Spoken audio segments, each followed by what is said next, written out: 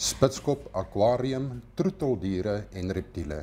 Een van die grootste troeteldierwinkels in die Vrystaat met die grootste verskeidenheid van visse, voëls, honde, katte, slange, spinnekoppe en 'n groot verskeidenheid van diereprodukte, kosse, medisyne en baie meer om van te kies. Besoek ons gerus by die Pretty Gardens sentrum in Langehoven Park, Bloemfontein.